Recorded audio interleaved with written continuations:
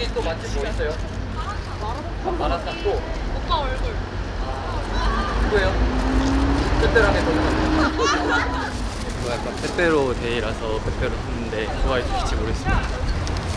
야, 빼빼로 뭐, 뭐 무슨 맛 좋아하세요? 아몬드, 아몬드, 아몬드, 아몬드.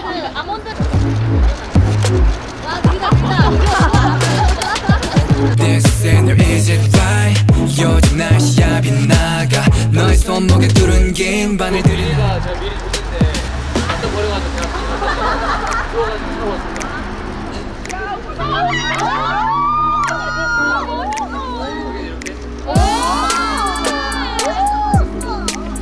제가 가시는 길 조심히 가시고 보시면은 여기 나인이한테 말씀드리고 보시면은 내전에 패링하게 해줄 겁니다.